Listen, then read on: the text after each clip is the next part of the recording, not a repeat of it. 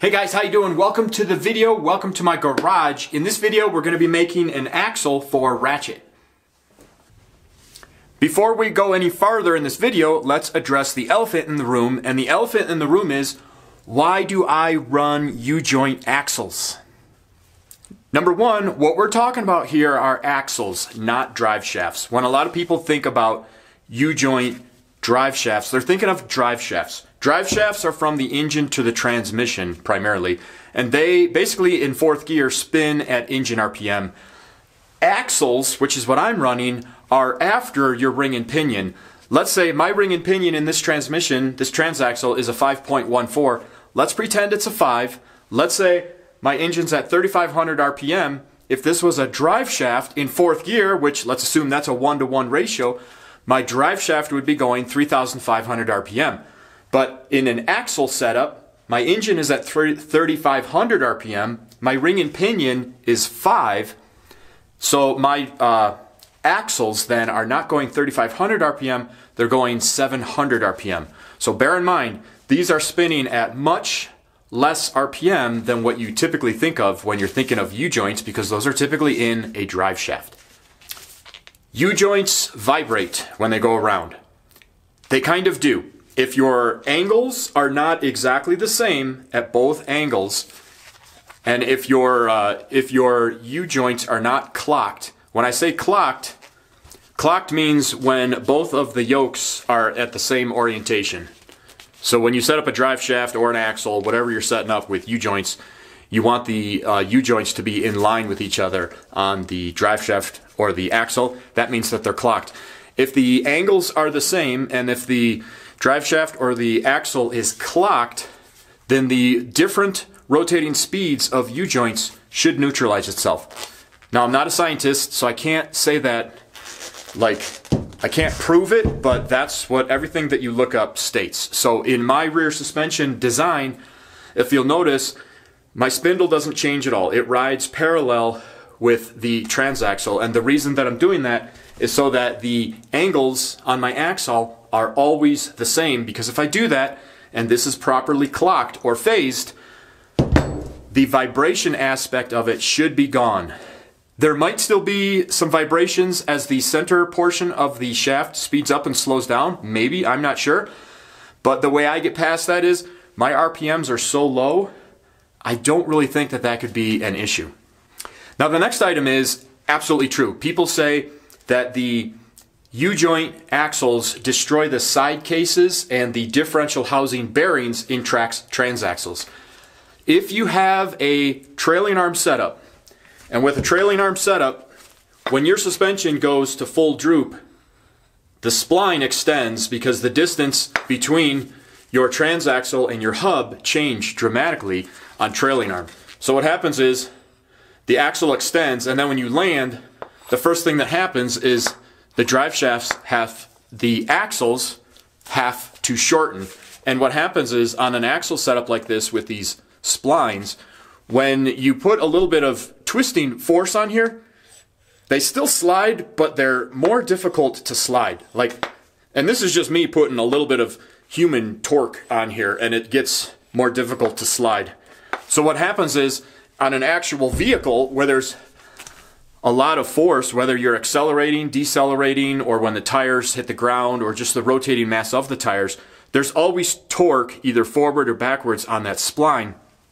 And when the suspension lands, and that has to compress, the resistance of that spline actually puts an incredible amount of pressure on either end of your axle.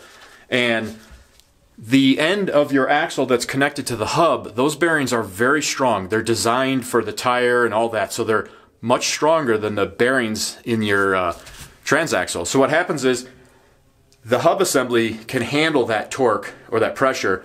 The transaxle cannot. So what happens is you'll break your trans transaxle side cover or it'll push in and actually put undue stress on your bearings. So that part is absolutely true, and I do not recommend people with trailing arm run U-joint axles. However, I'm running H-arm rear suspension, or you could call it A-arm rear suspension. I'm, and I'm specifically designing it so that when my suspension is going through, the geometry of the rear suspension is in line with the geometry of the axle. So my rotational points are at the same points as the uh, U-joints. So what happens is when my suspension travels, technically my axle should not be moving at all. And so basically that aspect is null and void on a, on a setup like mine. A lot of people ask me if I'm doing it because I think U-joints are stronger. I don't know the answer to that. I don't know which ones are stronger, honestly. That's not why I do it. So when it comes down to it, I explained to you the things that people say as to why you can't do it, and I explained why, at least in my head, I don't think that applies to my situation. The reason that I do it is in a situation like I'm in right now where I'm fabricating and I'm also kind of designing as I go along because with a uh, with an axle like this I've got so much play in the drive shaft as I'm going along and I'm building this and I'm making some tweaks and adjustments if I want to make Wratchet two inches narrower this this drive shaft will handle that. If I want to make it two inches wider, this drive shaft will handle that. So it allows me to make some adjustments over time without having to buy, you know, a completely new um, axle assembly. If I went CVs, I would go non-plunging CVs. Those are about $275 at each end. And then from what I've looked, an axle would cost, uh, looks like six to $900. Um, so that's pretty pricey. I wouldn't want to do all that and then find out I wanted to make it one inch wider or one inch narrower and then have to order a new axle. Um, with the drive shaft, first of all, all of this right here is about 400 bucks and, and it's adjustable to a certain extent. And if I need to make some changes on here, I wouldn't have to scrap the whole thing because a lot of it can be taken apart. So those are the reasons why I'm running U-joint axles in Mahler. I'll be running U-joint axles in Wratchet. Once Wratchet gets dialed in, there's a possibility I might switch to CVs because there's a lot of benefits to CVs. Um, one major flaw with U-joint axles like this, this is heavy. This is going to be heavy. It's a heavy assembly. The other one is, if one end of this breaks, a U-joint axle or drive shaft really kind of does a cartwheel effect, and if you don't have hoops on your under your chassis or on your control arms, you could cause some serious damage. CVs don't do that. If you break a CV, they just kind of fall down and, and spin. It's it's no big deal. So there are some drawbacks to U-joints, but for my application, I like running them. I think they'll be more than strong initially for Wratchet. If Wratchet ends up building big horsepower one day and he breaks these axles, or I think he's going to break them or whatnot, I'll upgrade to CVs. But at this point in the project, this is why I'm going with U-joints. Also bear in mind, these are axles. In this video, uh, you're probably going to hear me call them drive shafts a lot, and that is because when I look at this and when I hold this, it feels like a drive shaft because usually when you see this, it is a drive shaft. So in the video, I'm probably going to call this drive shaft many times. It's an axle. So here's the parts I'm going to be using. Starting at the transaxle, I've got a flange yoke adapter, and then I've got a 1310 U-joint, and then I've got a 4-inch slip um, spline, whatever you would call that. This is the the spline part right through there. And then I've got a piece of drive shaft that I've cut here. This is not cut to length. This is a little bit too long. Then back here on this end, I've got 5-760X U-joints. And that's because that's what is used on this axle shaft. This axle shaft is actually made for Jeep Wranglers. So it's a slightly larger U-joint on this end. And then I cannot get a, a U-joint adapter that is um, made for welding onto a drive shaft for or for a 5-760X U-joint. So what I'm doing is I have another one of these axle stub shafts. This one is chromoly. This is the one I'll actually be using in my hub assembly. This one is not chromoly, and the reason this one's not chromoly is because I'm actually going to cut it off right about here. And I'm going to weld it on the drive shaft like that. And you'd be surprised at how well that fits on there. So let's take it over. I've got everything propped in position here. So let's kind of mock the drive shaft up in place, and then I can take a measurement to see how long I need to cup that shaft for.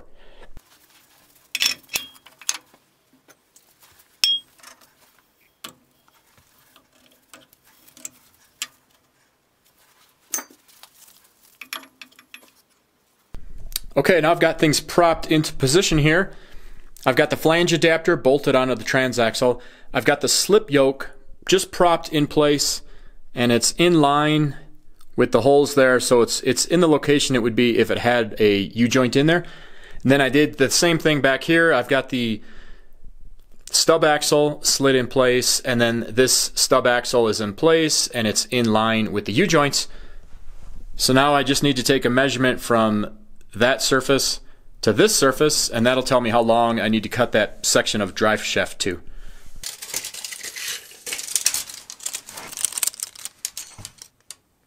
Ten and a quarter inches. Ten and a quarter.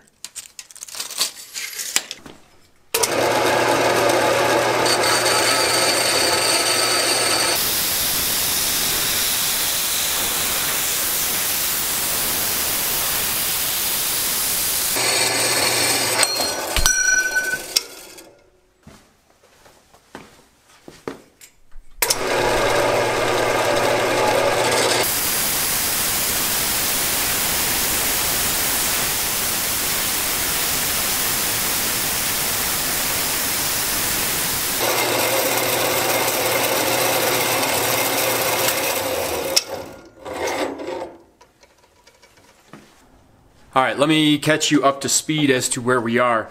You just saw me cut the stub axle, and basically all I did is I just cut it off right there to leave me this surface. And this is the surface that I will be welding onto the drive shaft. And when I said you'd be surprised how well it fits, it has, if you can see that in the video, it has a little bit of a step on there. And this drive shaft is two and a half inch outside diameter by 0.083 wall thickness. That's what this slip yoke is designed for. So as you can see, this is basically a press fit. That presses right in there. It's all it's all set up for that. So although this still needs to be welded, once you press this in there, it's a really, really nice connection.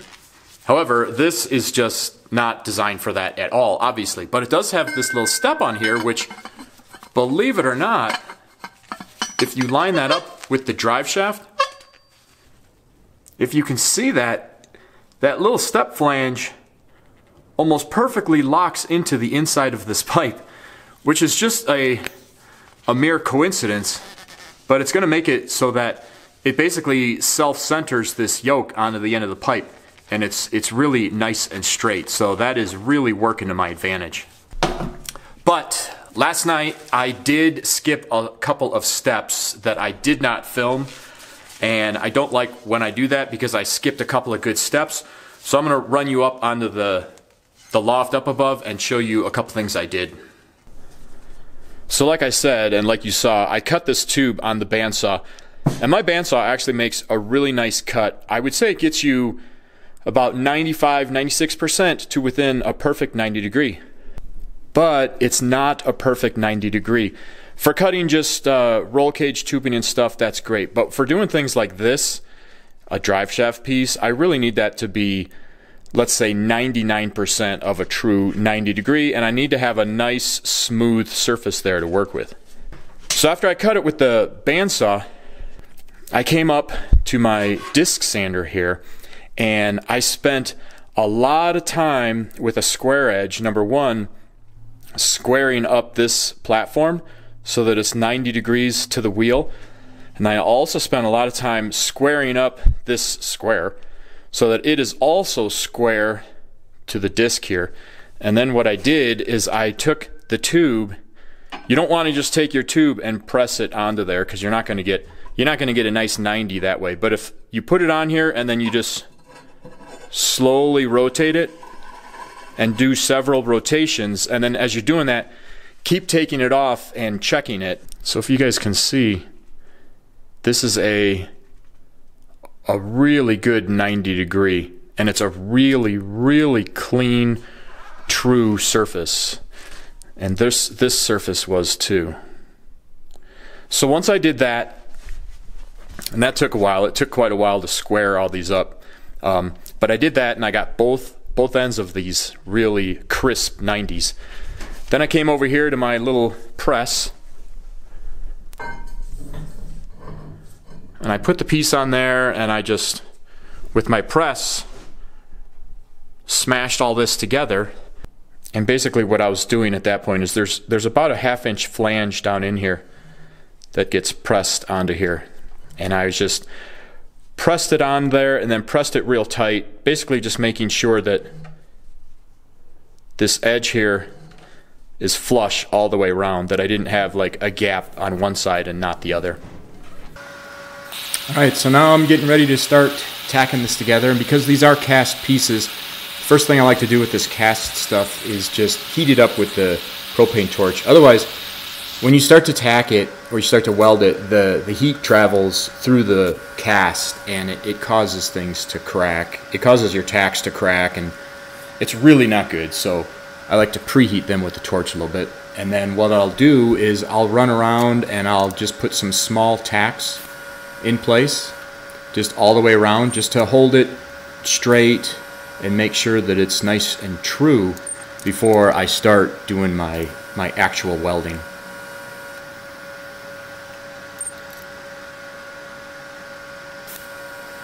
Now that I've got it actually tacked in place and I've, I've checked it and I'm, I'm real happy with it, what I'm going to do here is I'm starting to do what I call a, a cut-in weld, but really it's just a small weld where I'm not using filler material because what I'm trying to do is dig the heat down and get the cast piece and the tubing to, to work together at really low in the piece so that I get deep penetration. And I'm not throwing a lot of heat at it either because, like I said, this is still a cast piece and this welding is still working to really, really heat up this cast piece. And when I do my next weld, this piece will be fully warmed up from this pass that I'm doing all the way around. I'm just doing it in strips to distribute the heat. All right, now I've got that weld that goes all the way around and the piece is nice and hot and it's ready to go. So now I'm doing what I call my final weld, which I'm using filler material and I'm making a nice, I'm not gonna say a big weld, but I'm not, I'm not being cheap or I'm not being sparingly with the filler rod. I'm, I'm making sure that I completely envelop the weld that I just laid down and that I'm getting good penetration into the, the tubing and penetration onto the cast piece. And now I'll do this all the way around and then when I'm done with this, I will just let the piece sit and let it cool all on its own.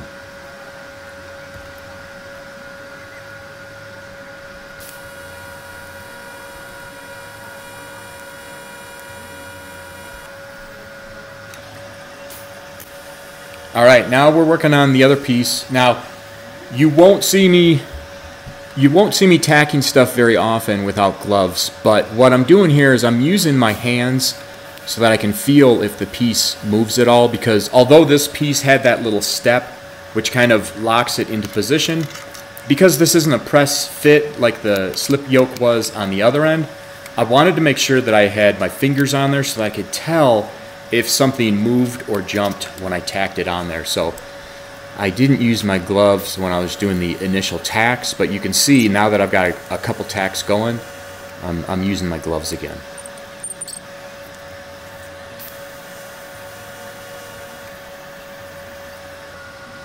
there's also a step that I did not show here. I did not preheat that piece with my uh, MAPP gas torch before I tacked it because I knew I was going to use my hands on it.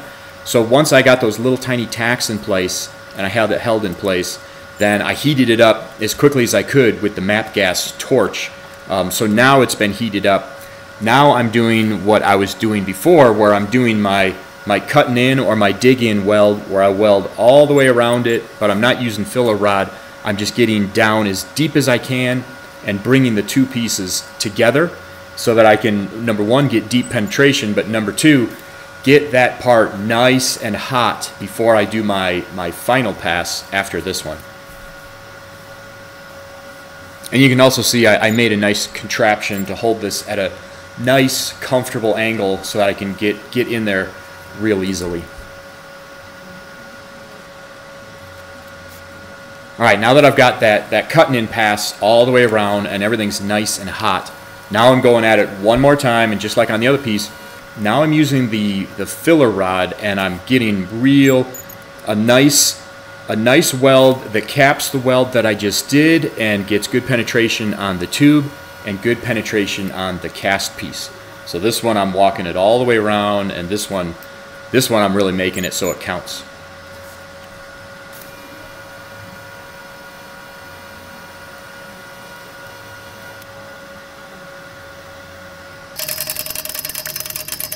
And now that the welds are done and everything's cool, I'm just up here on the loft putting the U-joints together. I actually don't enjoy this too much because sometimes the U-joints can be a little bit difficult, but these these seemed to go to, together okay. Everything here was brand new, so it was it was pretty straightforward.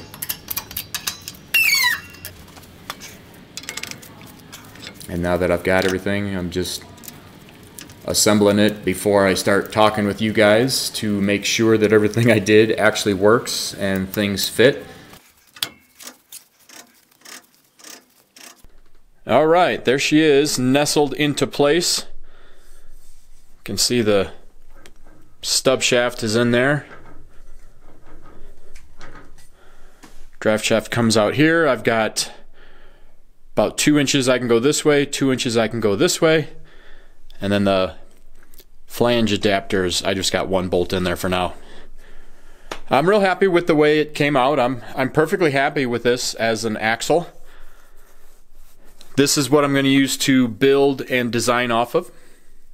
We'll see if one day I upgrade this to CVs, but for now, I'll build her up like this, and I'm I'm real happy with this. I, you know, who who could tell if I'll break it someday? But I it it seems like it's pretty strong.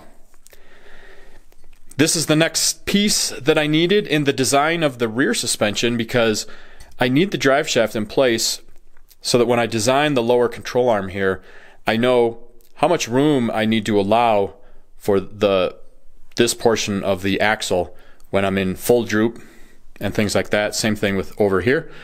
I need to find out how much clearance I have under here so I I couldn't do too much more design without having the axle in place.